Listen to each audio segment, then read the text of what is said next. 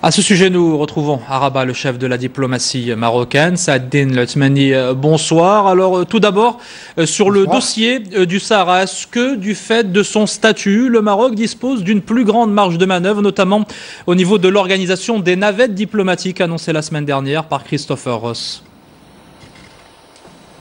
Merci. Nous considérons que cette conclusion sur laquelle a parlé M. Ross est une réussite pour la diplomatie marocaine, pour le Maroc.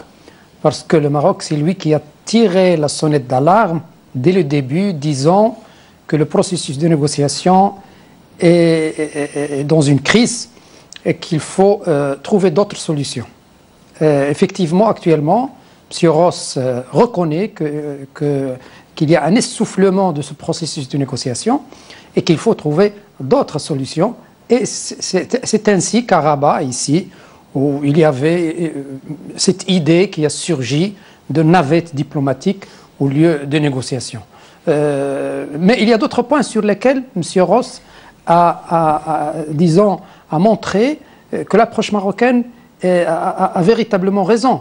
M. Ross parle actuellement de la distinction entre les différentes questions, la question humanitaire, la question des droits de l'homme, la question sécuritaire et la question euh, militaire gérée par les Minurso et que M. Ross se concentrera sur euh, essentiellement la question euh, politique, les négociations pour aboutir à une solution politique durable, mutuellement acceptable, comme le prétend les différentes résolutions du, du, Conseil de sécurité. Donc, Sadine justement. Peut-être la présidence, pendant la présidence marocaine au, Conseil de sécurité, il y aura d'autres dossiers non moins euh, brûlants et importants. Vous devez présider euh, lundi prochain, euh, en présence du secrétaire général de l'ONU, une réunion sur la sécurité au Sahel. Est-ce que vous allez défendre une nouvelle fois l'option militaire prônée par les États de la CDAO pour ce qui est de la situation dans le Nord Mali? Vous savez, cette question est très délicate. Et, nous, nous ne défendons pas l'option militaire. Nous défendons une option politique, mais peut-être soutenue euh, par une force africaine, par exemple. Mais le, grand du dossier doit être fait par les Maliens eux-mêmes.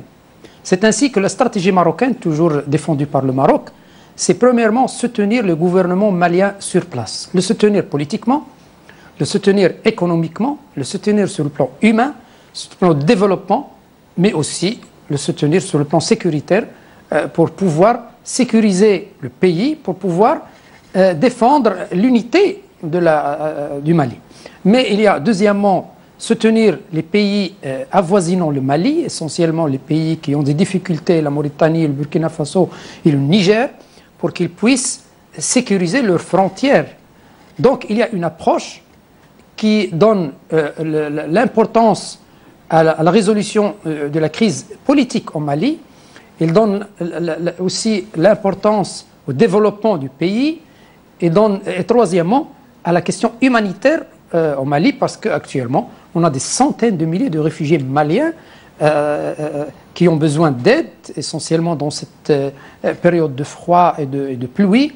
Et le Maroc a essayé de contribuer à tous, ces, à tous ces niveaux, premièrement au niveau politique, deuxièmement au niveau économique et aide au développement, troisièmement au niveau humanitaire, et après euh, avoir seulement et après avoir euh, euh, fait tout ce qu'on peut à ces niveaux, qu'on peut recourir à une, une aide autre dossier, sécuritaire autre dossier peut être faite soit par le CDAO ou par les autres Monsieur pays. Monsieur euh, le 12 décembre prochain, le Maroc accueille à Marrakech une réunion du groupe des amis de la Syrie. Est-ce qu'à travers cette réunion-là, on peut véritablement envisager une issue favorable ou du moins le début d'une solution à ce conflit qui dure depuis maintenant plus de 20 mois?